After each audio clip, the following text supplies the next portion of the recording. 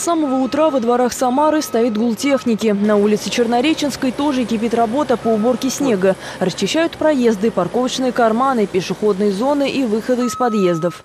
Работаем максимально для того, чтобы территория была очищенной вовремя. Стараемся чистить также отмостки вдоль дома, для того, чтобы не попадала влага в подвалы.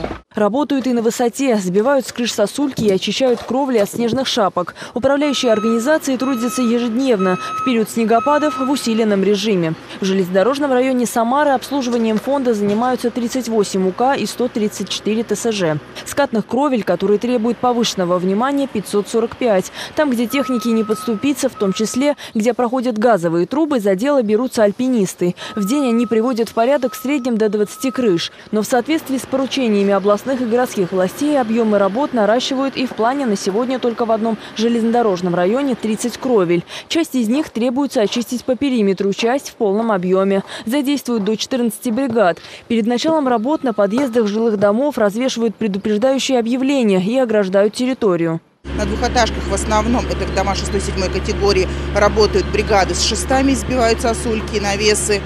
Э, работа сегодня под контролем, помогает нам контроль осуществлять управляющим районом территории района. Жители двора уборкой на этой территории довольны. Говорят, только за этот сезон кровлю чистили больше семи раз. У нас очень хорошо убираются дворы. Дорога чуть замело, тут же приезжает трактор. И вот он всю ночь, до темна, до темна. В общем, мы пока очень довольны работой.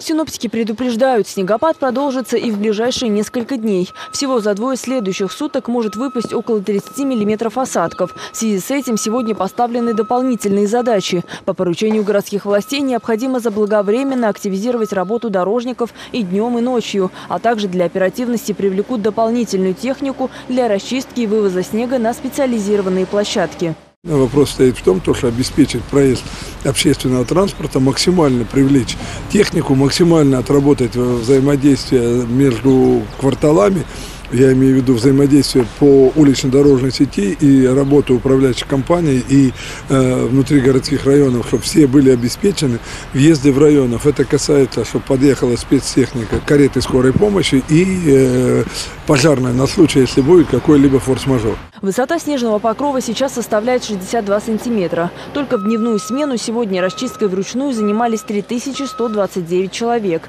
Средств механизации 313 единиц. 70 бригад предусмотрены управляющими компаниями для работ на крыше. В отношении недобросовестных организаций, которые вовремя не выполняют свои обязанности, принимаются соответствующие меры. В этой части административные комиссии районов также повышают контроль.